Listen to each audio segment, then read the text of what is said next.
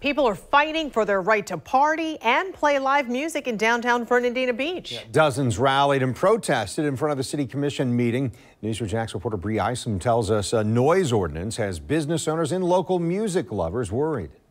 People tell me restaurants have been cited for disobeying this ordinance. This restaurant, the Boathouse, has been cited twice. Restaurant owners tell me that they're scared to even play live music anymore. Dozens of people with signs and a passion for music rallied to save live music outside of Fernandina Beach City Hall. A little piece of me would die if it was taken away.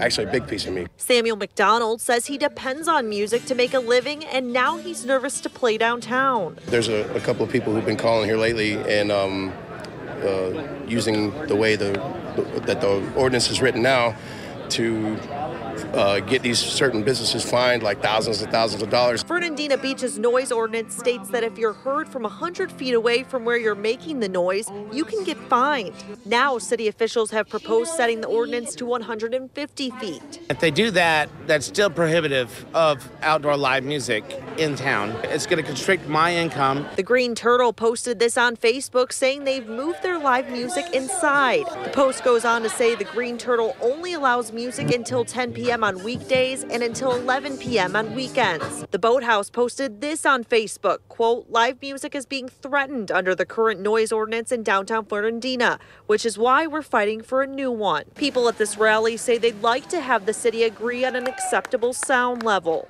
We got to get a change. We got to get a decibel level set.